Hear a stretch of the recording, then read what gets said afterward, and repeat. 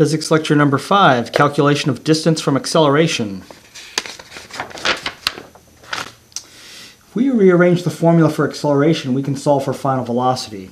So acceleration is final velocity minus initial velocity divided by time. If we multiply both sides by time, acceleration times time gives me at, and then the uh, t cancels, so you know basically multiply both sides by time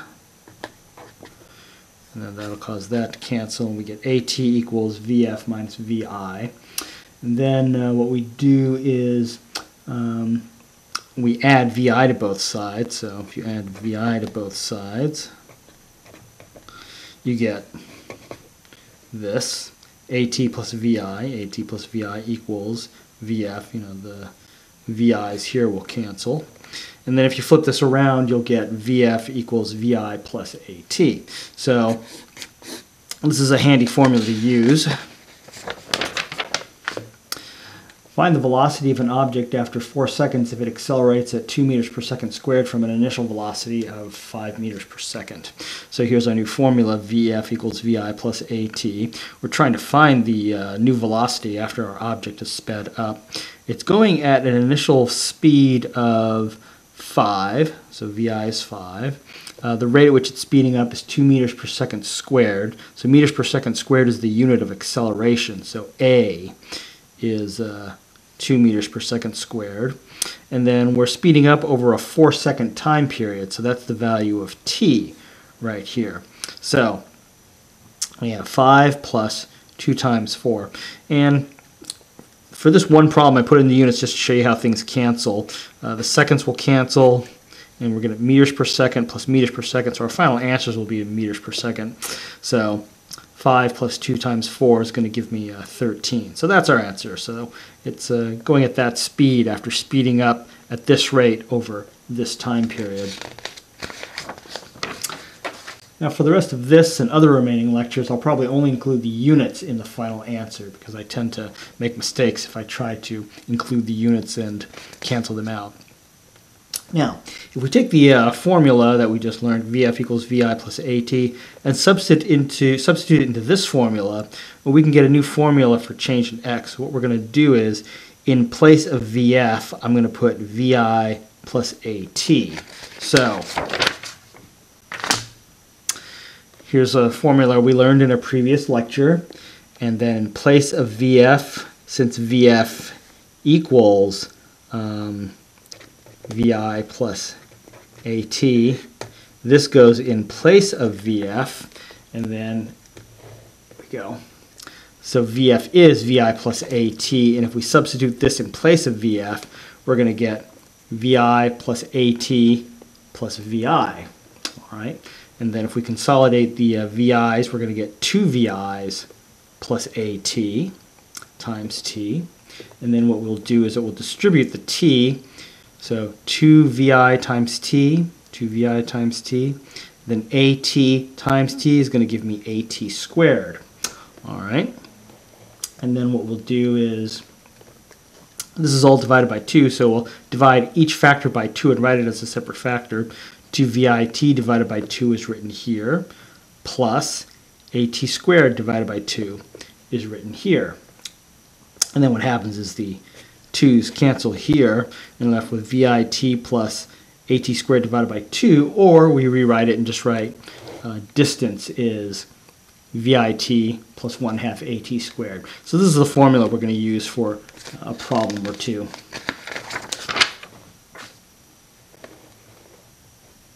A car moves at an initial velocity of 12 meters per second. It accelerates at a rate of 3 meters per second squared for 6 seconds. Uh, what distance is it covered during its acceleration? So we're trying to find the uh, distance, change in x, and the initial velocity, it's 12. So we'll put a 12 here. Uh, how long does it accelerate? Well, it accelerates for 6 seconds. So t is 6, all right, plus 1 half a. At what rate is it speeding up? Acceleration units are meters per second squared, so it's accelerating at 3 meters per second squared. That's the value of a. So that's what we put here.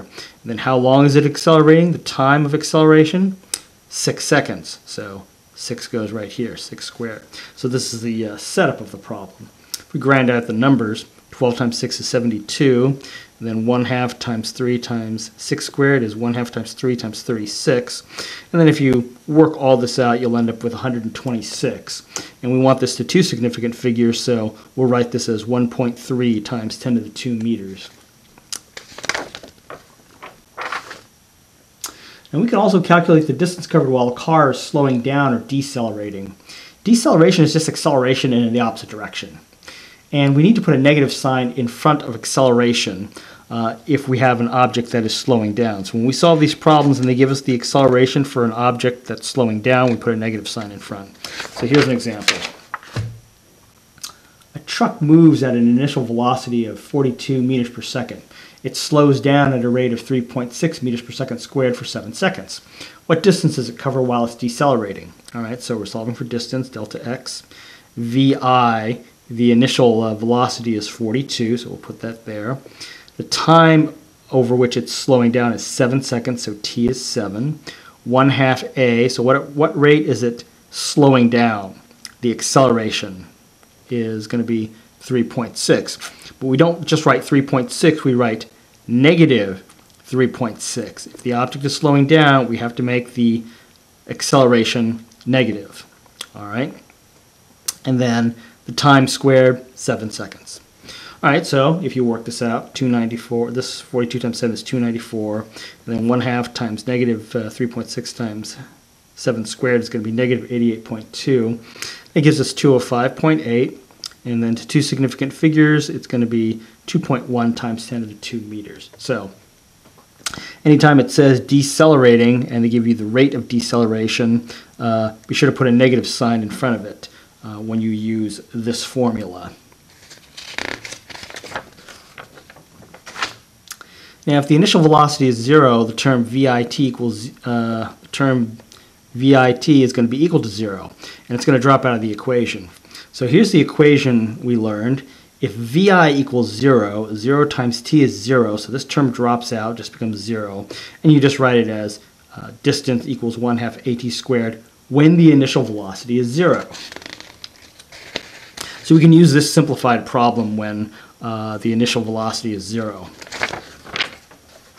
So it says a car starts from rest and accelerates at 5 meters per second for uh, squared for 9 seconds and what distance has it covered. So starts from rest. Implicitly, they're telling you that the initial velocity is zero.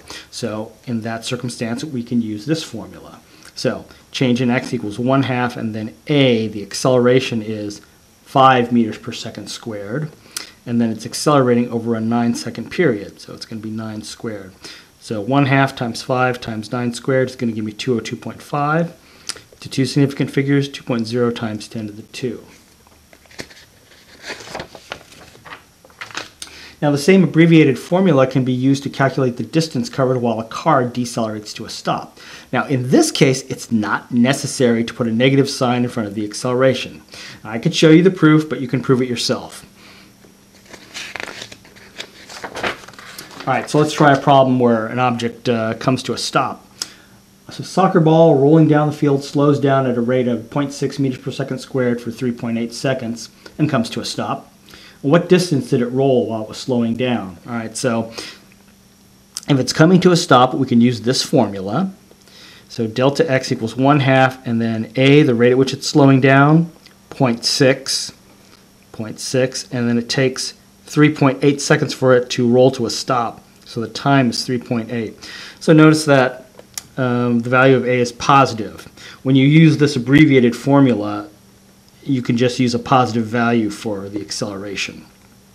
All right, so anyway, if you work this out, that's the distance uh, that you get, or 4.3 meters. So what this answer means is that um, if it's slowing down at this rate for 3.8 seconds, it'll cover a distance of 4.3 meters. Now we could create a formula relating velocity, distance, and acceleration without using time. So we start by taking this formula. That's basically, you know, delta x equals vi plus vf.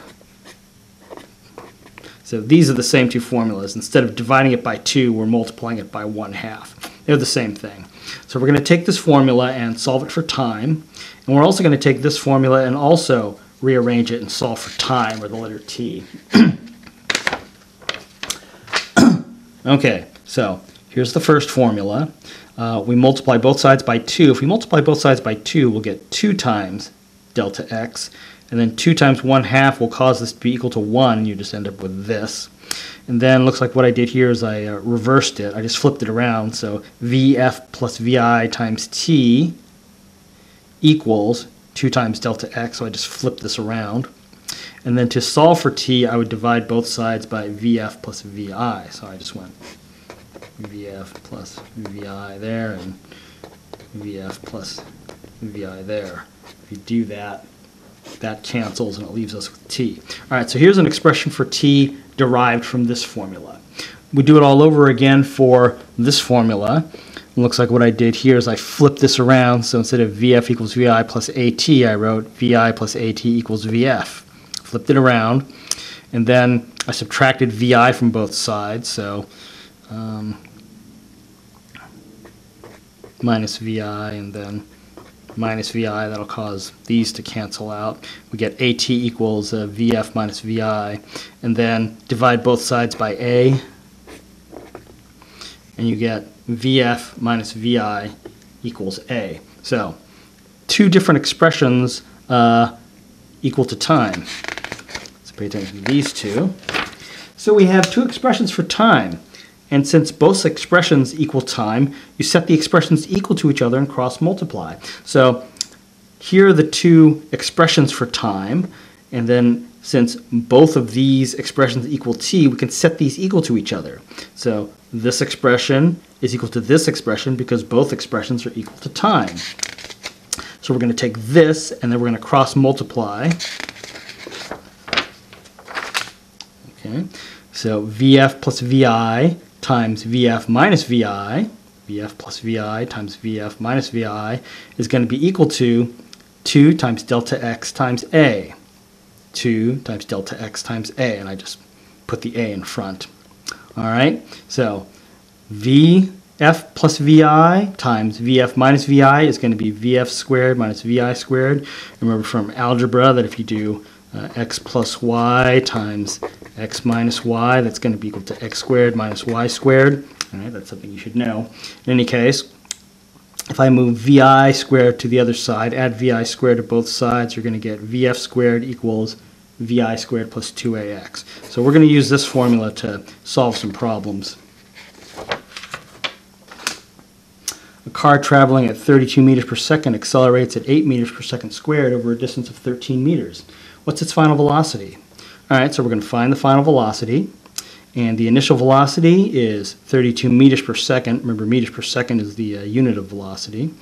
Plus 2 times a, the acceleration. Well, meters per second squared is acceleration, so that's 8 in place of a. And then over a distance of 13 meters. So distance, delta x, is going to be 13. So here's our problem. So if you grind this out, you're going to end up with VF squared equals 1,232. If you take the square root of both sides, you'll get 35.09 or 35 meters per second.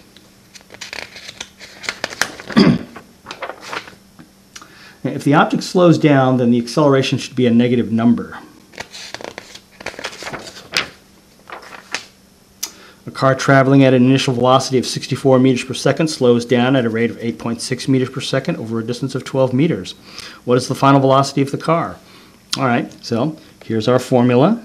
Um, final velocity is what we're going to find. Initial velocity is 64. 2 times a, the rate at which it's slowing down, is 8.6 meters per second squared. And since it's slowing down, we write the acceleration as negative 8.6 and it slows down over a distance of 12 meters. That's delta x right there. Okay, so 64 squared is this. 2 times negative 8.6 times 12 is that. If you add these two together, you get 3889.6. If you take the square root, you get 62.36 or 62 meters per second. All right, so when using this formula, if the object slows down, then you have to use a negative value for acceleration. Now, if the initial velocity is zero, the term vi drops out of the formula and we get vf squared equals 2a times delta x. And we use this when the initial velocity is 0. And we can also use a similar abbreviated equation if the final velocity is 0. So vi squared equals 2a times delta x, and we use this when vf equals 0. And I'll let you figure out the proof for how this formula comes about, but you can trust me, this formula works when initial velocity or final velocity is 0. Now this above formula is used when an object slows to a stop. So even though the object is uh, decelerating, uh, it's not necessary for acceleration to be a negative number. And in the proof, the negative signs disappear. So you notice that for these abbreviated uh, formulas I've given you, the acceleration can be positive. So let's try a problem. Our torpedo decelerates at a rate of 15 meters per second squared and comes to a halt after traveling 120 meters. What was the initial velocity before deceleration? All right, so we're trying to find the initial velocity, 2 times acceleration, so 15 meters per second squared. Change in the distance, so it travels a distance of 120 meters before stopping. 2 times 15 times 120 is 3600. Take the square root, we get 60 or 6 times 10 to the 1. So you use this formula uh, when it comes to a halt. If this comes to a halt, it means final velocity is 0. So here's a summary of the uh, formulas we use.